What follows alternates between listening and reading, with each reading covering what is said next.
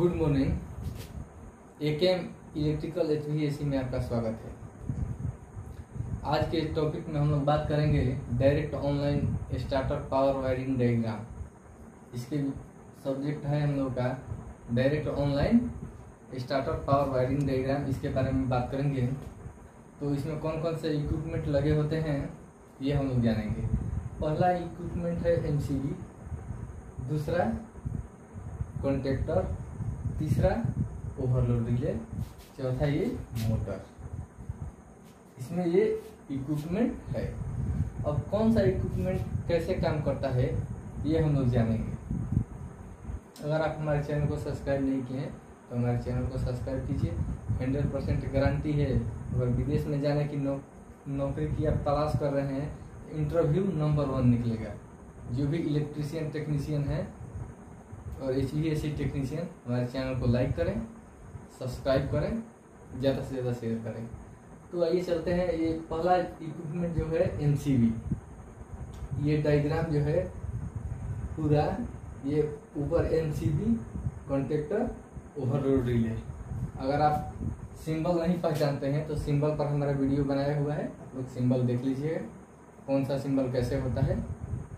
तो एमसीबी जो है जब एम को ऑन करते हैं, ऊपर से एम को ऑन करते हैं तो यहाँ पर आर वाई बी ये न्यूट्रल ठीक है? बस बार से फेस आता है, ठीक है? इन होता है।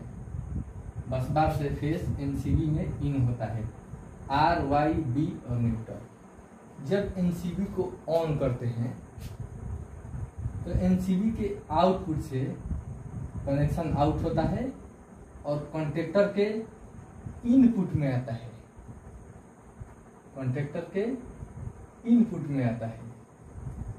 कॉन्ट्रेक्टर के इनपुट में जब आता है तो कॉन्ट्रेक्टर में एक क्वाइल लगा रहता है, जो अलग अलग वोल्टेज का होता है, जैसे 24 volt AC 110 volt AC 220 volt AC 440 volt AC contactor में क्वाइल लगा रहता है।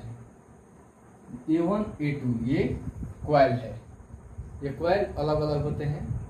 जैसे 24 वोल्ट का भी हो जाएगा 24 वोल्ट ए सी एक सौ दस वोल्ट दो सौ बीस वोल्ट चार सौ चालीस वोल्ट और देखिए क्या होता है, इसको स्टार्ट करने के लिए कंडक्टर को स्टार्ट करने के लिए ग्रीन कलर का पुश बटन होता है।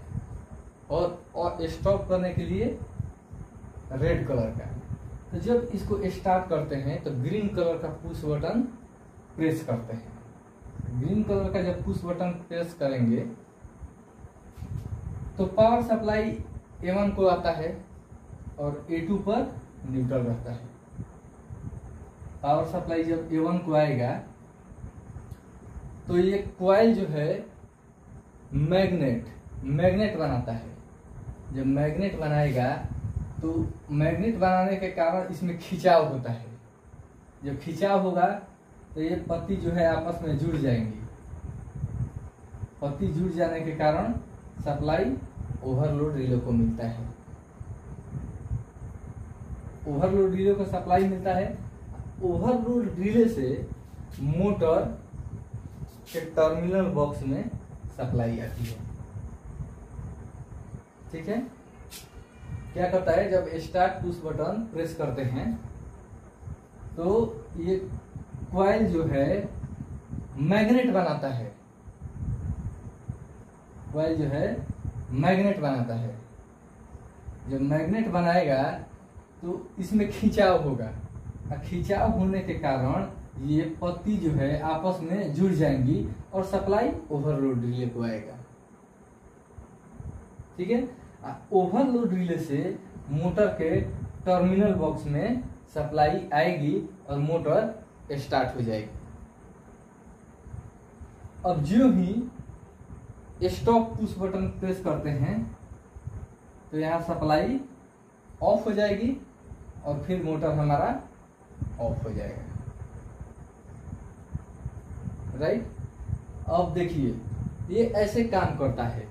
ठीक है? अगले वीडियो में ओवरलोड रिले कैसे काम करता है, कैसे इसमें एम्पियर सेट किया जाता है, ठीक है? अगले वीडियो में हम लोग वीडियो बनाएँगे। अगर आप हमारे चैनल को सब्सक्राइब नहीं किए हैं तो चैनल को सब्सक्राइब कीजिए लाइक कीजिए, और ज़्यादा से ज़्यादा शेयर कीजिए।